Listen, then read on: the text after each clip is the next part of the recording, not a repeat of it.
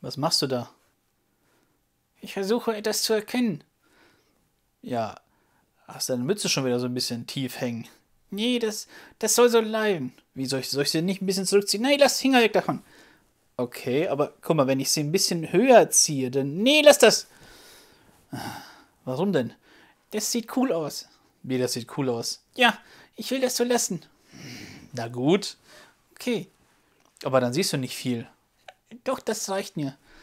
Ah. Weißt du was? Das passt voll zur Geschichte, die, ich, die wir heute erzählen. Hier, wieso hast du das in der Mütze? Solche Geschichte. Ja, äh, und zwar die Geschichte davon, wie Isaac seine Frau bekommt. Wie? Hat er auch so eine komische Mütze gehabt? So eine coole Mütze? Ich glaube, komische passt es besser. Hm? Nee, meine, die, ist, die Mütze ist voll cool. Und so ich sie trage, ist es auch voll cool. Jack, du siehst ja kaum was. Ja, nee, das hast du schon. Lass das so. Gut, wenn du sagst. Und jetzt, wie, was hat das mit der Geschichte von Isaac zu tun? Und wer ist Isaac überhaupt? Wie, wie, wie ist Isaac? Das weißt du doch. Nee, wer ist das? Das ist der Sohn von Abraham und Sarah. Ach, der kleine Junge? Nee, der ist schon nicht mehr klein. Wie nicht mehr klein? Naja, als Sarah gestorben war, war sie 127 äh, Jahre alt. Das heißt, äh, der Isaac war schon über 30 Jahre alt. Oh, so alt? Mhm, so alt. Über 30 Jahre war Isaac schon. Und da noch nicht verheiratet? Nee, war noch nicht verheiratet. Wie kommt denn das? Hat er keine Frau gefunden? Ja, nicht. Äh, und äh, der Abraham, der wollte auch, dass er äh, eine Frau aus einem ganz bestimmten Volk heiratet und nicht da, wo er rumzieht und auch nicht da, von wo er herkommt. Oh, okay. Und das war jetzt so schwierig. Mhm, das war so schwierig. Und dann hat der Abraham gesagt, ne, Diener? Wie Diener? Er hat den Diener gehört. Okay. Und äh, der hat den gerufen, Diener, komm mal her. Oh, aha. Und dann? Dann hat er gesagt, Diener, ich möchte, dass du äh, für meinen Sohn eine Frau findest. Wie eine Frau finden? So suchen und finden? Wie ein Versteckspiel? Nein, nein, nicht wie ein Versteckspiel. Wie denn dann? Na, er sollte in eine ganz bestimmte Stadt gehen und dann sollte er da gucken, ob er da eine Frau für Isaac findet. Ach, okay, so einfach. so einfach. Und äh, was hat der Diener gesagt? Der ist dann losgezogen? Ja, der ist losgezogen und er fragte aber auch vorher noch einen Abraham, ähm, wieso ziehst du nicht zurück nach Ur in Chaldea? Ne, da, wo du herkommst, da wirst du bestimmt eine Frau finden. Da kennen die Leute deinen Vater, da kennen die Leute dich. Ne, und da wirst du bestimmt jemanden finden, der sagt, oh, ja, den Sohn von Abraham, den möchte ich heiraten. Ja, wieso denn denn Weißt du, was Abraham gesagt hat? Nee, was denn? Gesagt, oh nein, bloß nicht, auf keinen Fall. Nicht dahin, wo ich herkomme. Von da soll mein Sohn Isaac keine Frau bekommen. Wieso denn das nicht? Hm, weißt du es nicht mehr? Wir hatten ja gesagt über Uhr. Was hatte ich, was hatte ich mal erzählt über Uhr? Äh, Uhr zeigt die Zeit an. Nein, nicht Uhren, sondern die Stadt Ur. UR. Äh, nee, schon vergessen. Die Stadt Ur, da hatten die Leute viele Götzen verehrt. Ach so. Und Abraham wollte nicht, dass der Isaac eine Frau bekommt, die auch Götzen verehrt. Wieso denn das nicht? Naja, weißt du es nicht? Nee. Der Abraham, der ist ja schon lange mit Gott unterwegs, schon viele Jahrzehnte. Okay. Und äh, der sagte sich, ich möchte, dass mein Sohn Isaac eine Frau bekommt, die auch an diesen Gott glauben wird und die meinen Sohn Isaac nicht von diesem Gott wegziehen wird. Aha, okay. Und deswegen hat er den Knecht losgezogen. Hm.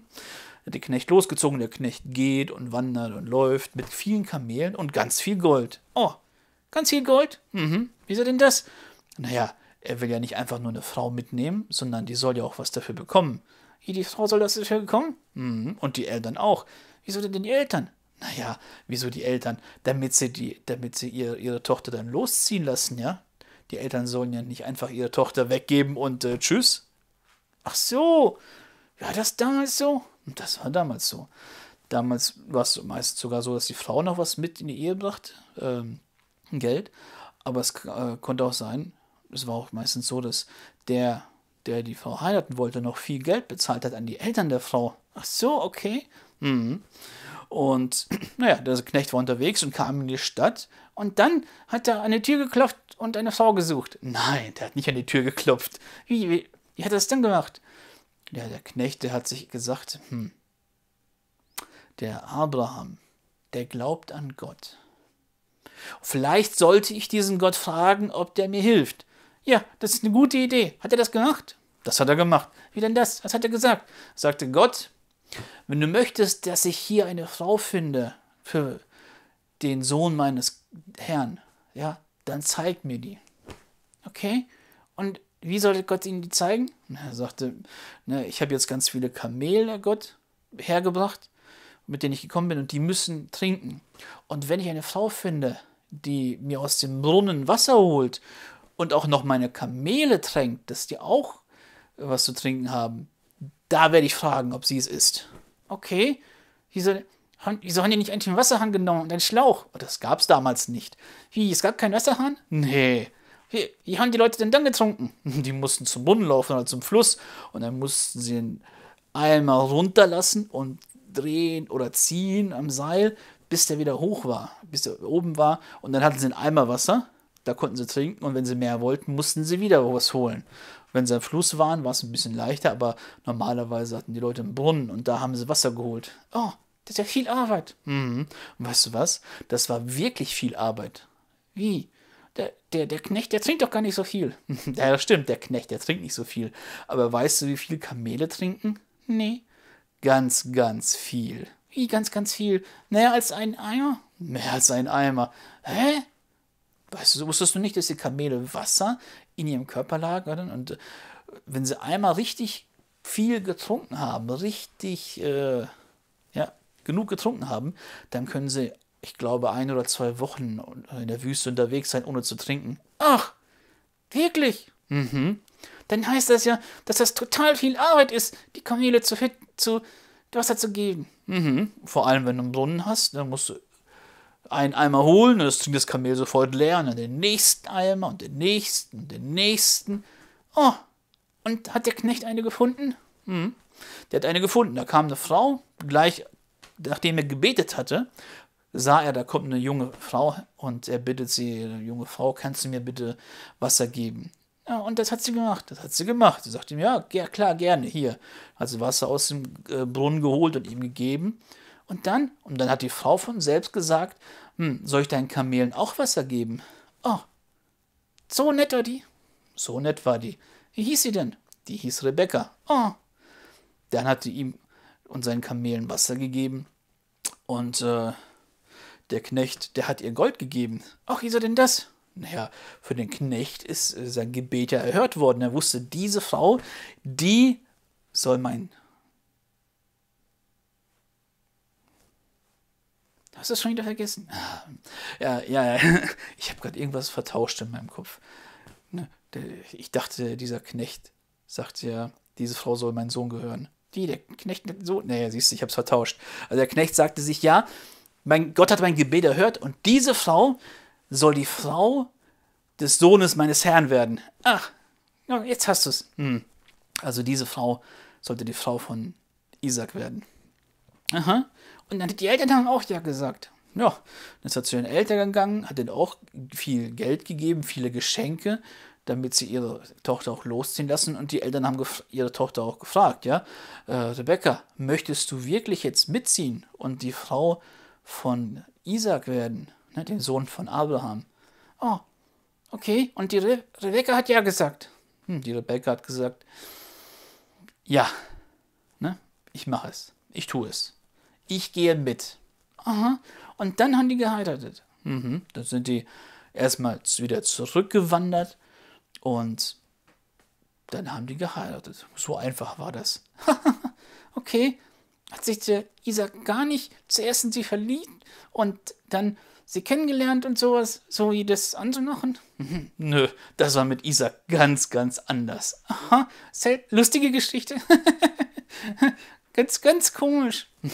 Ganz komisch, aber so war das früher. Okay. Und dann waren sie glücklich. Mhm. Und weißt du was? Das Ende der Geschichte ist aber auch nicht so ganz nett. Wie, nicht ganz nett? Naja, am Ende ist auch der Vater Abraham gestorben. Oh, okay. Wie, wie alt war der denn? 175 Jahre alt war der. So alt? Mhm. Hatte, wenn, wenn die Frau von Abraham gestorben ist, als sie.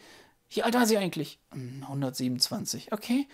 Und, äh, oh, der ist ja fast 50 Jahre älter geworden als seine Frau. Mhm. Der ist fast 50 Jahre älter geworden. Hat echt lang gelebt, der Abraham. Okay. Wow. Mhm.